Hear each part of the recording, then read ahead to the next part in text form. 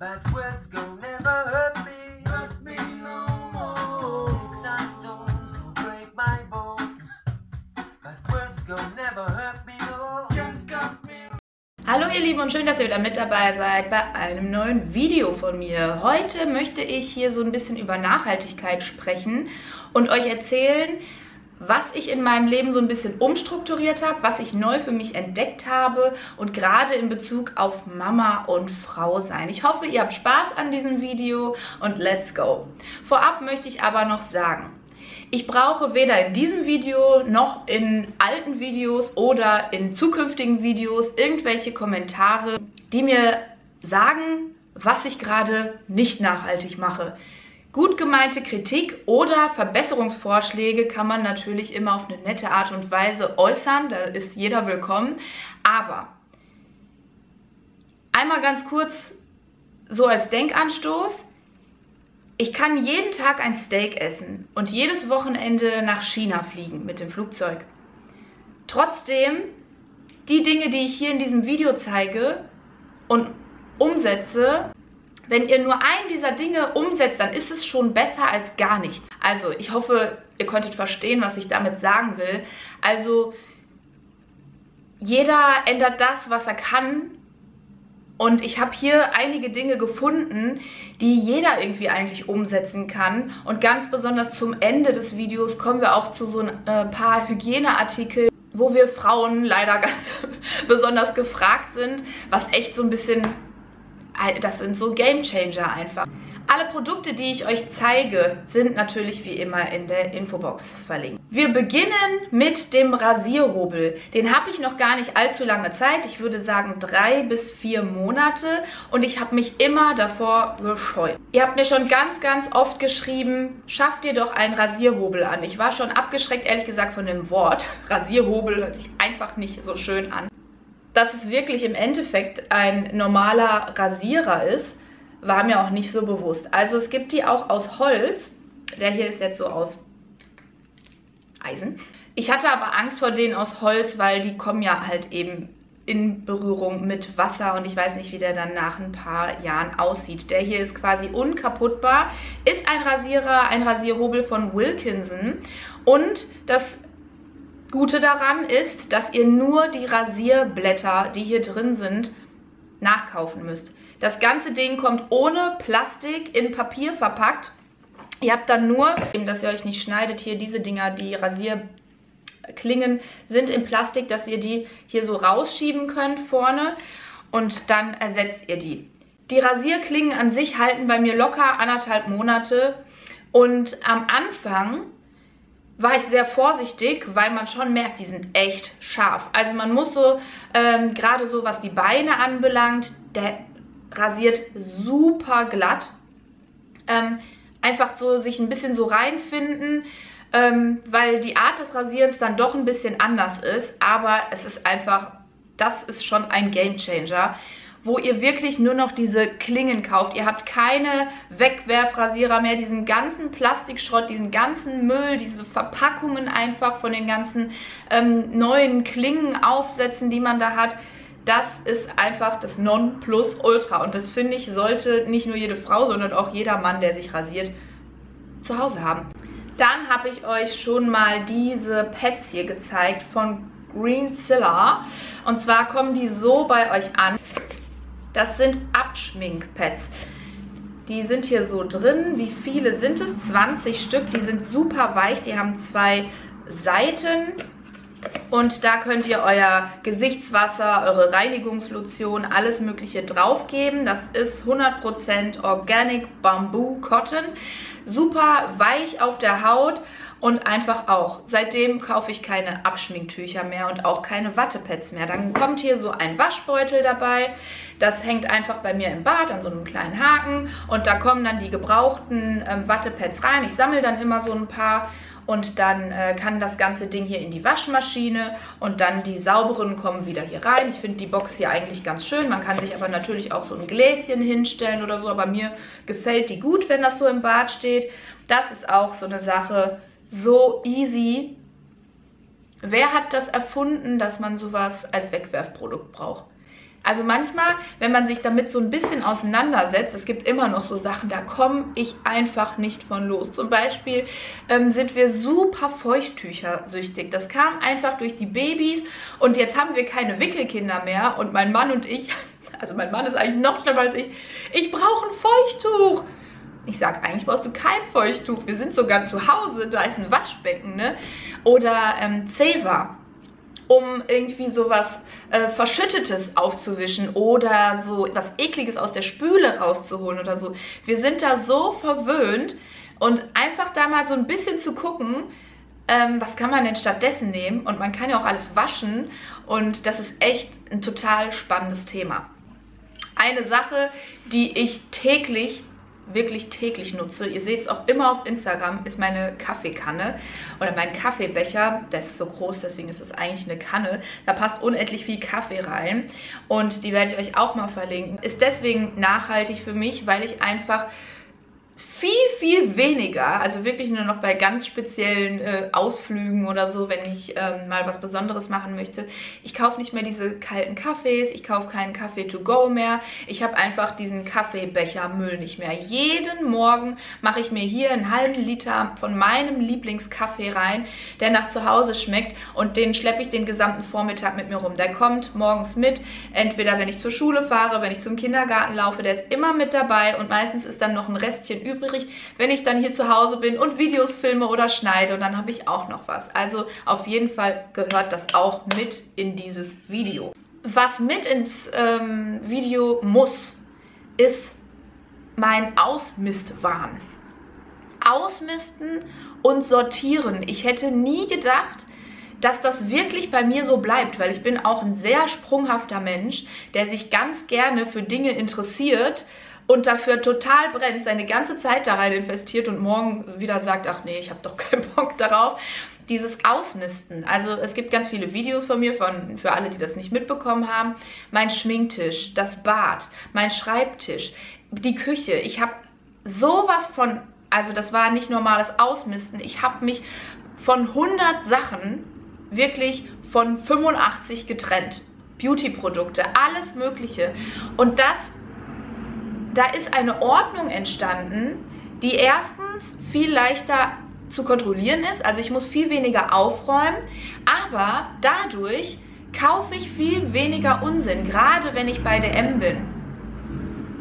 Gerade wenn ich bei so, so Sachen, wo ich immer so schwach werde, so Chibo-Regale, Amazon, irgendwas abends auf der Couch.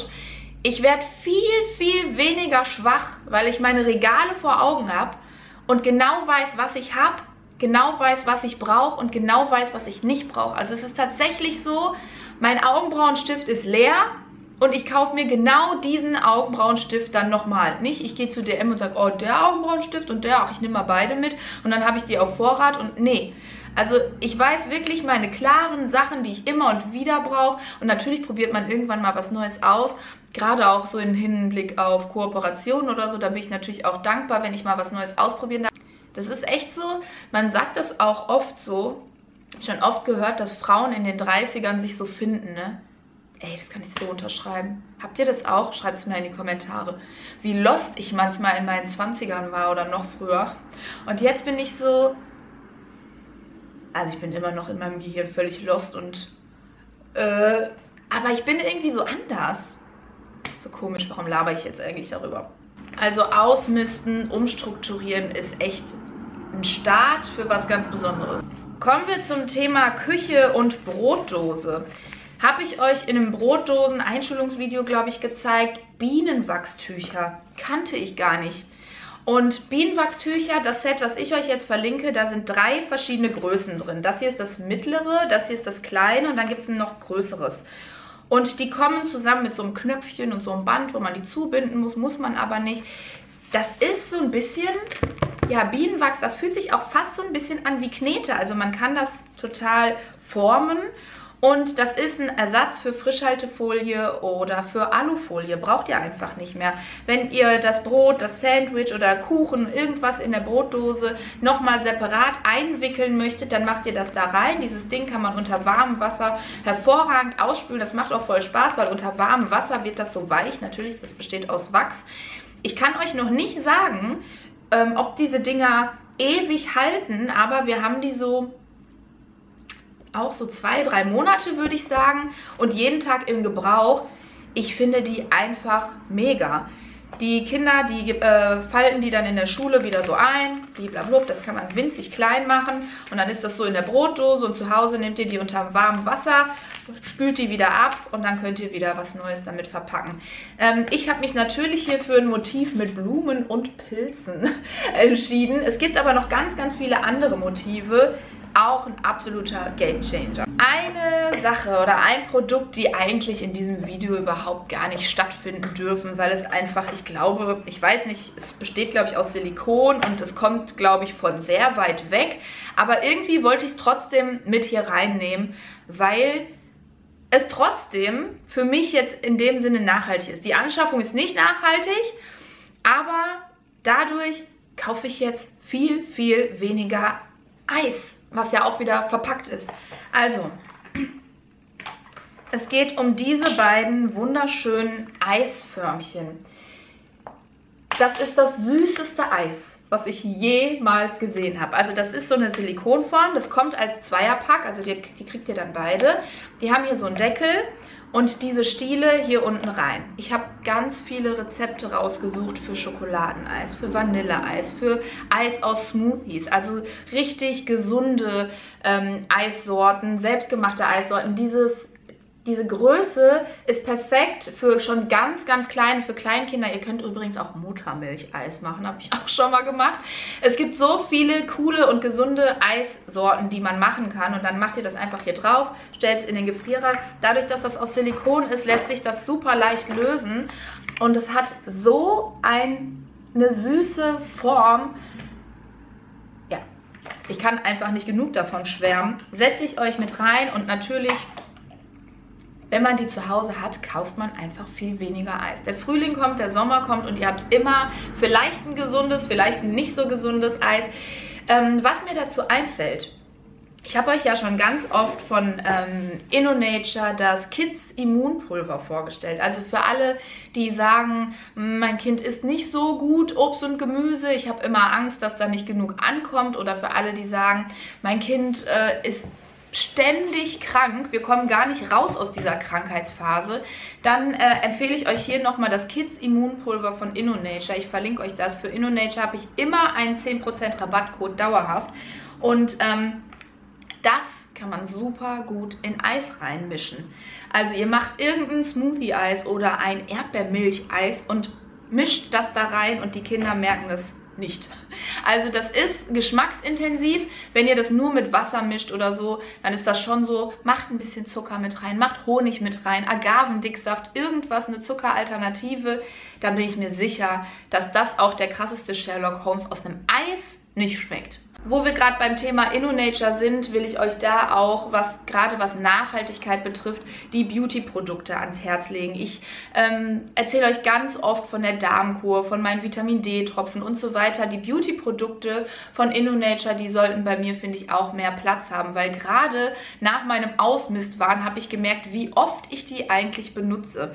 Und da soll in Bezug auf Nachhaltigkeit mein ähm, Augenmerk besonders auf das Body Oil fallen. Das Körperöl von InnoNature ist mit Jojobaöl, Avocadoöl und Marulaöl.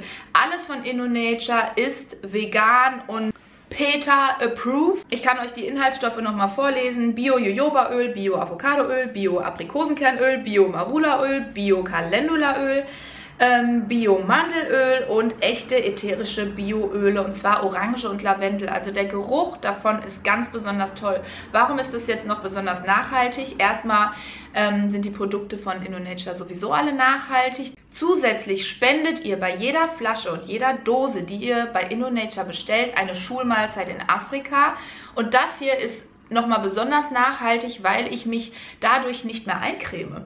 Also, wenn ihr aus der Dusche oder aus der Badewanne kommt und noch eine nasse Haut habt und dann so ein paar Tropfen nur von diesem Körperöl überall verteilt. Ich benutze es auch fürs Gesicht, aber es gibt auch ein äh, extra Faceöl. Vielleicht wollt ihr euch das so als Pack bestellen. Und dann zieht das so ein, dass ihr danach keine Creme und schon gar nicht mehr Bodylotion braucht. Also deshalb ist das so ein All-Time-Favorite ähm, von mir. Das hier ist übrigens das Face Oil, das ist aber die kleine Version davon. Es gibt auch noch natürlich eine große Flasche, die dann mit so einer Pipette kommt. Das sind so meine Lieblingsprodukte in Bezug auf Nachhaltigkeit von InnoNature. Link und Rabattcode findet ihr wie immer in jedem Video sowieso in der Infobox. Kommen wir zum Thema Einkaufen. Das hat lange gedauert. Bei meinem Mann ist es immer noch ein Prozess, ähm, dass wir wirklich so, ich weiß nicht, wie das kam. Wir sind auch, glaube ich, nicht so aufgewachsen, dass wir tatsächlich früher einkaufen gegangen sind und wir haben kein Körbchen oder Tüten mitgenommen. Und wir haben uns jedes Mal wieder Tüten gekauft. Also das ist schon lange her, mache ich schon lange nicht mehr, aber mein Mann verpeilt es bis heute noch. Und äh, wir haben jetzt eben diese Säckchen, ich denke, die kennt ihr. Da äh, tut ihr Obst und Gemüse rein, könnt das so abwiegen und müsst dadurch keine Plastiktüten mehr für Obst und Gemüse kaufen. Die bekommt ihr aber auch in jedem äh, Supermarkt oder Lebensmittelhändler. Und dann einfach so ähm, ganz einfach, holt euch einen schönen Einkaufskorb, den ihr immer mit dabei habt. Habt Körbchen oder Taschen, Jutebeutel immer im Kofferraum, dann passiert euch auch sowas nicht mehr. Also ich ärgere mich dermaßen, wenn ich irgendwo bin und das vergessen habe und ärgere mich auch so über mich selbst, dass das früher normal ist, weil sowas wie eine Tütentüte oder eine Taschentasche, die man dann in der Küche stehen hat, wo voll viele Plastiktüten drin sind, das ist echt äh, unfassbar nervig und so sinnlos. Was auch so ein bisschen mein Leben verändert hat, sind feste Deos. Also es hat angefangen mit dem Deo von InnoNature. Das ist nämlich in so einer Dose drin. Das ist eine Deo-Creme.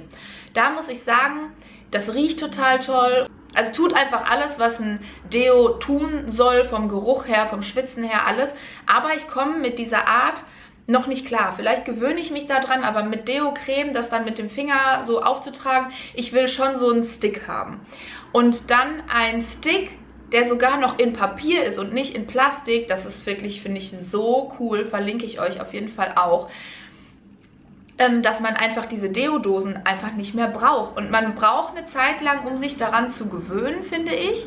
Aber das ging bei mir sowas von schnell. Und jetzt habe ich tatsächlich auch ein ganz befremdliches Gefühl, wenn ich mir was unter die Achseln sprühe. Also ein Parfüm ist nochmal was anderes. Ich benutze auf jeden Fall noch Parfüm, aber das kommt ja nicht so... Wisst ihr? Was bei mir jetzt auch, ähm, hört sich erstmal voll eklig an, aber ich wasche weniger. Beziehungsweise meine Mutter hilft mir sowieso ganz viel bei der Wäsche, aber ähm, es liegt auch ein bisschen mit daran, dass die Kinder größer geworden sind, dass sie nicht jeden Tag komplett dreckig sind. Aber dass ich ganz oft gucke, was muss jetzt wirklich in die Waschmaschine oder was, wo ist irgendwie was drauf, wo man auch einfach mal kurz mit einem nassen Waschlappen so drüber rein kann, dann hängt man das irgendwo drüber und kann das morgen wieder anziehen. Wisst ihr, was ich meine? Also natürlich Unterhosen, Socken, aber ganz viel, auch gerade von den Kindern, kann man einfach mal so kurz irgendwas muss, also dass weniger die Waschmaschine läuft, wisst ihr? Das geht. Da muss man mal drauf achten, dass man nicht alles jeden Abend in den Wäschekorb schmeißen muss. Genauso auch mit dem weniger Waschen, finde ich, weniger Spielzeug kaufen. Das war ja früher so, ich habe es geliebt, Spielzeug zu kaufen und liebe das heute noch über alles. Aber ihr habt das schon in ein paar Videos mitbekommen und äh, ich habe euch auch zwei Videos gefilmt. Ein äh, Video Spielzeuge, die ich nie wieder kaufen würde und ein Video Spielzeuge, die wirklich Sinn machen. Also diese beiden Videos gibt es schon, wenn ihr euch dafür interessiert. Ähm, was ich wirklich für Spielzeuge kaufen würde, in welchem Umfang, ähm, erzähle ich euch da auch alles und wie viel man wirklich auch gebraucht kaufen kann, wie viel man wirklich auch selber machen kann und es dann viel wertvoller und schöner ist. Also das gehört auf jeden Fall auch mit rein in dieses Video. Und jetzt kommen wir zu den Hygieneartikeln, wo ich echt am Anfang ich habe viel ausprobiert. Und es geht um die Menstruation. Ich habe viel ausprobiert. Ich komme bis jetzt nicht klar mit einer Tasse. Ich komme bis jetzt nicht klar mit Periodenunterwäsche. So. Was ich benutze, sind Tampons und Slip-Einlagen. Das ist halt das, womit ich mein Leben lang schon klarkomme und mit anderen Dingen kam ich halt nicht klar. So, jetzt ist halt die Sache, das ist richtig, richtig ökologischer Scheiß. Man hat richtig viel Müll Und man hat auch immer Müll, wenn man auf der Toilette sitzt oder irgendwie im Bad ist. Und dann äh, sind auch bestimmt ganz viele davon verleitet, das Ding einfach in die Toilette zu schmeißen, was man auch nicht machen soll. Und es ist alles irgendwie so unpraktisch. Es ist auch teuer.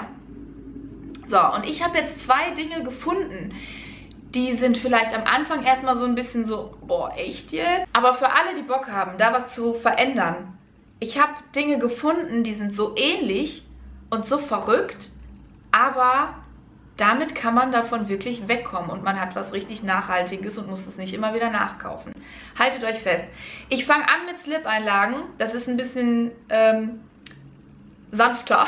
Und dann kommen wir zu dem Ultra-Produkt, wo ich so dachte, oh mein Gott, probierst du das jetzt wirklich aus? Aber ja. Ist von Bambo Zero Waste. Und zwar kommen Slip-Einlagen, nachhaltige, wiederverwendbare, waschbare, so bei euch an.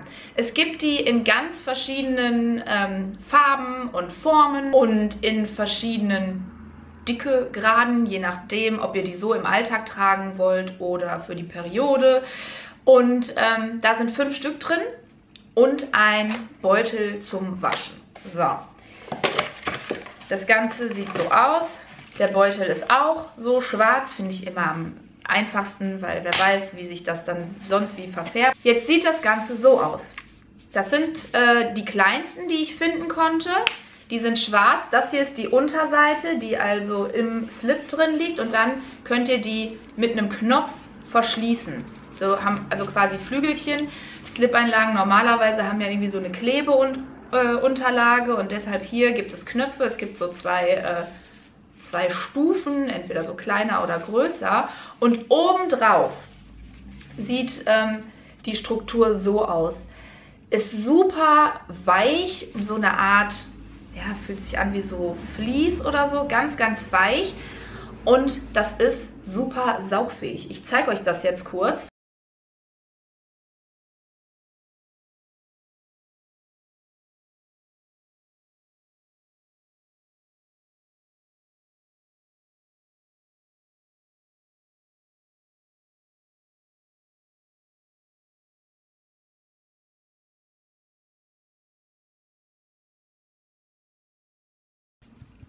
Also habt ihr jetzt gesehen, hier unten bleibt es trocken, es zieht super schnell ein und wenn dann Hautkontakt besteht, das ist komplett trocken hier oben. Das ist halt irgendwo hier drin. Also das funktioniert richtig gut. Das sind jetzt die, ähm, da steht drauf für leichte Tage. Es gibt die auch noch in größer und saugfähiger. Also die sind einfach genial. Das macht so Sinn. So, und jetzt kommen wir zum krassesten. Es kommt in so einem Beutelchen an. Ich habe mir jetzt erstmal drei Stück bestellt, um zu testen. Und zwar kam ich ja mit allem Möglichen nicht klar, sondern nur mit Tampons. Und dann habe ich nach einer Tampon-Alternative gesucht. Und ich bin auf was gekommen, was jetzt erstmal echt komisch aussieht. Aber das ist einfach ein Tampon. Und zwar geht es um diese Schwämmchen hier. Das sind Schwämmchen, die immer wieder neu wachsen. Das ist ein natürliches Produkt. Das hat hier einen Faden, das sieht jetzt hier groß aus, aber das macht man natürlich halt erst klein und dann kann sich das vollsaugen. Das drückt man halt so zusammen, dann ist das klein und dann ist das genauso wie auch ein Tampon und es hat auch einen Faden.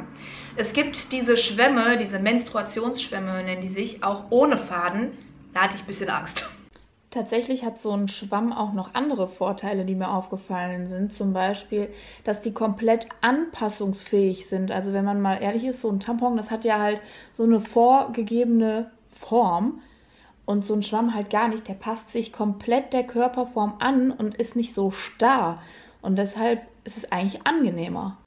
Man muss natürlich darauf achten, dass man die ordentlich reinigt. Also wenn ihr die ausprobieren wollt, lest euch da auf jeden Fall alles durch, wie man die am besten reinigt. Es gibt da verschiedene Arten. Es gibt die auch genauso wie Tampons in verschiedenen Größen. Und das könnt ihr euch mal durchlesen, wie diese ähm, Schwämmchen wachsen, wo die wachsen und äh, dass die immer wieder nachwachsen, wie nachhaltig das Ganze ist. Es ist super überlegt. Die kommen halt eben in diesem Säckchen und es kommt so eine Dose mit dabei. Die ist so ähm, mit einem Drehverschluss, also dass sie auch wirklich dicht hält. Sprich, wenn ihr unterwegs seid, Das sieht gewöhnungsbedürftig aus, ist aber vom Gefühl her ganz genauso. Und man muss sich einfach, wie bei allen Sachen, einfach dran gewöhnen. Ich finde es so krass, dass ich jetzt diese Dinger einfach nicht mehr kaufen muss. Aber ich denke, das ist so die Zukunft. Es ist auch, finde ich, bei allen Dingen, die ich euch hier so gezeigt habe, auch so eine Sache, die auch gerade nicht nur als Frauen uns besonders betrifft, sondern auch als Mütter unseren Kindern vorzuleben, wie die Welt funktioniert. Ob ich jetzt meinem Kind vorlebe, dass es normal ist, sich mit einem festen Shampoo die Haare zu waschen oder alles aus einer Plastiktube kommt.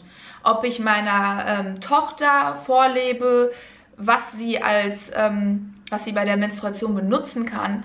Ob ich meinen Kindern vorlebe, wie viel Beauty-Produkte man braucht, wie man einkaufen geht mit einem Körbchen oder mit einem Beutel oder ob man sich immer wieder neue Tüten kauft.